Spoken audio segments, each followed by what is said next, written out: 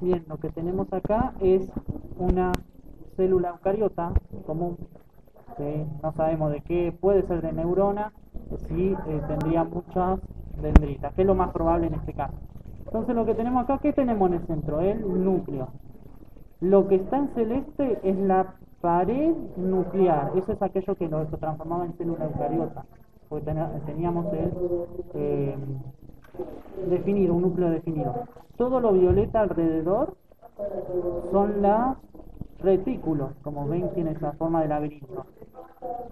Estos puntitos son los ribosomas, es aquello que te lo transforma en eh, retículo rugoso.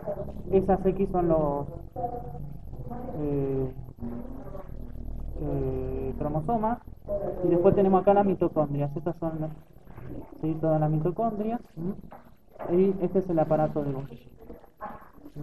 Y esa es la forma porque tiene una membrana celular.